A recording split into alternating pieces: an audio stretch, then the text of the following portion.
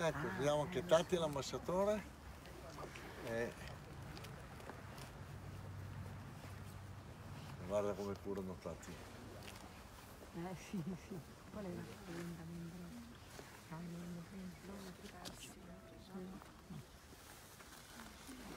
Sì, importante. Sei Ecco, più bello col cappello però, eh. Lei continua a levartelo, però secondo me sei più bello col cappello. Allora, eh, dopo la selezione che vi ho spiegato stamattina alla rampa della morte e dopo essere passati eh, dalla sauna e adesso avete, adesso messo il pigiama a righe, il cappello a righe, i tedeschi ci hanno portato qui, nel lager A, questo lager. E subito entrati perché questa entrata che avete fatto non esisteva. L'entrata principale era là, dall'altra parte. Di qua si entrava e di qua si usciva ogni mattina per andare a lavorare. Una volta messi qui dentro, noi arrivati il 16 di agosto e sopravvissuti dalla parte destra per lavori forzati, siamo stati distribuiti qui dai capò i capò ci hanno preso in carico di distribuirci in queste baracche. Eh, un capò ha preso l'incarico di prendere mio papà Giacobbe e di metterlo nella baracca numero 15. Un altro capò mi ha preso a me e mi ha sbattuto nella baracca numero 11. Eravamo nello stesso lager A, ma distribuiti diversamente. Lager A baracca numero 15 dove c'era papà e la baracca numero 11 dove c'ero io. E di qua abbiamo incominciato a avere le nostre giornate lavorative che si facevano ogni giorno, ogni giorno, ogni giorno uguali. Non c'erano né sabati né domeniche diverse, dunque ogni giorno era un giorno lavorativo. Il lavoro rende liberi. E io ogni sera avevo la fortuna dopo le ore di lavoro di andare subito nella baracca numero 15 dove c'era papà che mi aspettava, un papà adorabile. E era l'inizio del nostro arrivo qui. Ancora non avevo un'esperienza matura, erano i primi giorni e, e difatti qui quando siamo arrivati il primo giorno vi avevo detto poco fa che avevamo la speranza di vedere i nostri cari che erano partiti dalla parte sinistra. La prima domanda che abbiamo fatto a queste persone che erano arrivate prima di noi qui era quella di chiedere avremo l'occasione di rivedere i nostri cari che abbiamo visto partire dalla parte sinistra e loro ci hanno guardato in faccia come no, sapete? Dico no, siamo arrivati oggi e non sappiamo, ve lo chiediamo perché uh, può darsi avremo la speranza di ritrovarli. E ci hanno detto, non vedete questi due cammini? Abbiamo detto sì, vediamo questi due cammini. E, e di fatti ci hanno risposto con precisione. Le anime dei vostri cari, era la sera del 16 agosto del 1944, quando ci hanno detto ufficialmente che le anime dei nostri cari non c'erano più, erano di già in quel fumo delle camere a gas che avete visto. Allora io ogni sera avevo il piacere di andare a parlare con papà. Papà mi aspettava, erano appena arrivati e i primi giorni era per me qualcosa che mi dava lo stimolo di avere qualcuno che c'era, che dove potevo parlare, discutere con lui. Papà si preoccupava, ogni volta che mi vedeva mi diceva ma come sei combinato, sai, sei tutto bagnato. Eh, perché io dovevo spiegargli il motivo con calma senza farlo preoccupare, non volevo preoccuparlo, ci tenevo, ci tenevo molto. Anzi, gli dicevo, ma io sono ridotto male, ma vedo anche che te sei ridotto male, papà.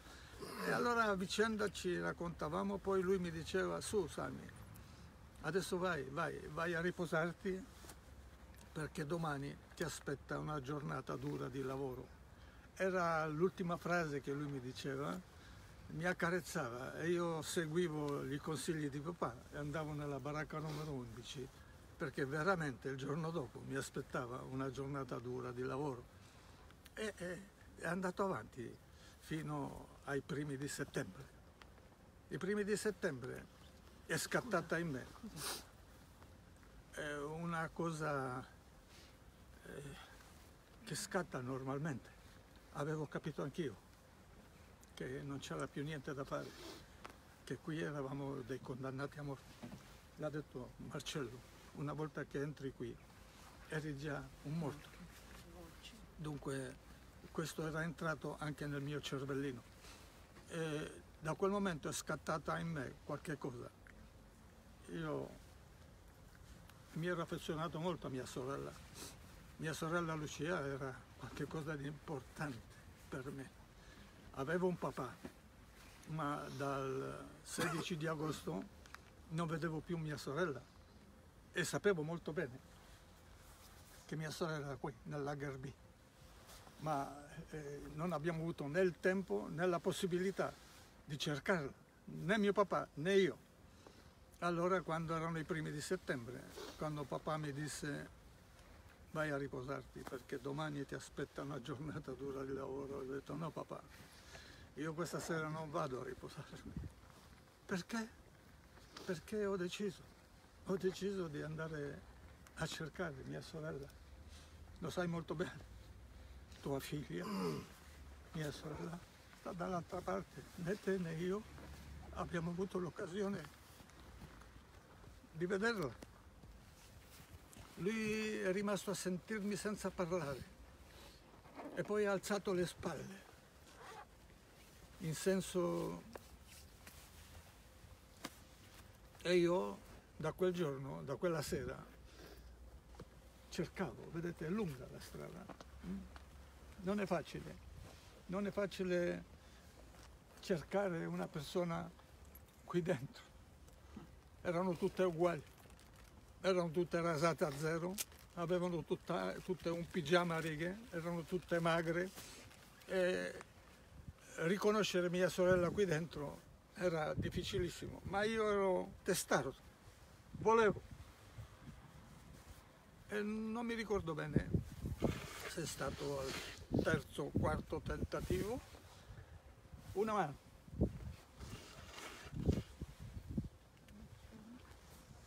io ero là più o meno. E cerco di capire di chi è questa mano che è. E non riesco a riconoscere la, la persona.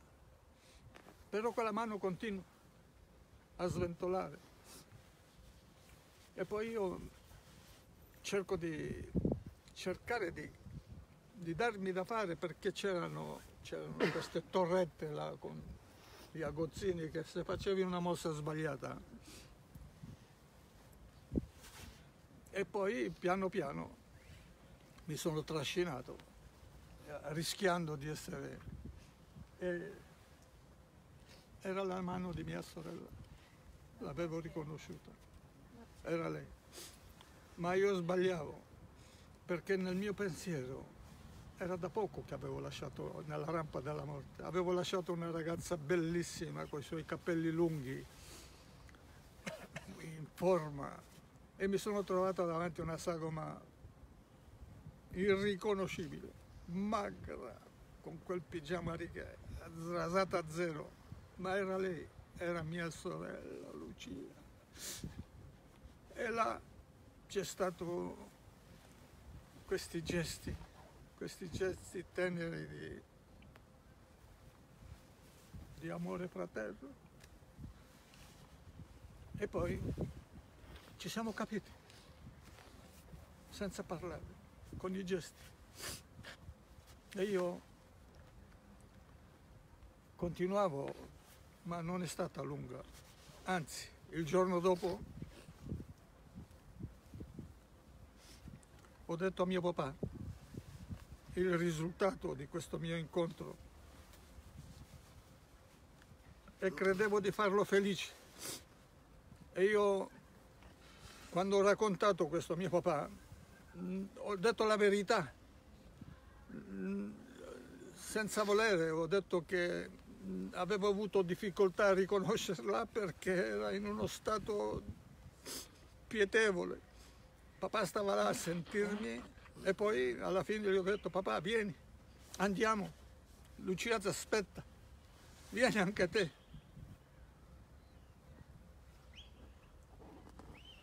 Si è rifiutato. No. E io in quel momento da ragazzo non ho capito il motivo, il perché lui si rifiutava. Ah, quando poi l'ho capito era troppo tardi.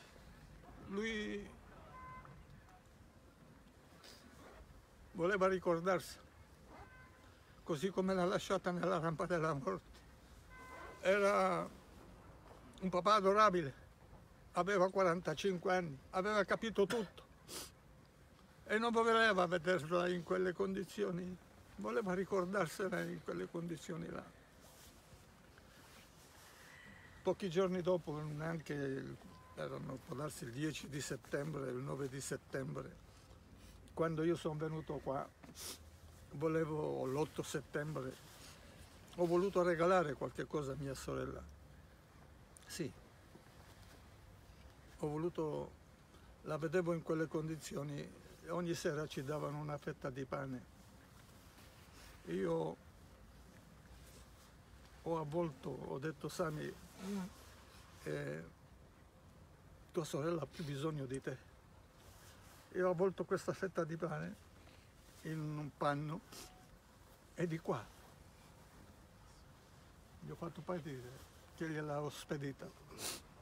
Mia sorella ha aperto il fazzoletto e ha visto la mia fetta di pane e mi ricordo bene quell'abbraccio che non mi posso scordare. Come fai a scordarti questo? Come fai?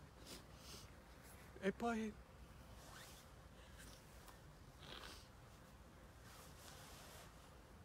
mi fa segno che mi spedisce indietro il fazzoletto dove là dentro c'era di ritorno la mia fetta di pane e la sua fetta di pane. Ora io vi chiedo, uno può cancellare questa scena? La si può cancellare? Ecco.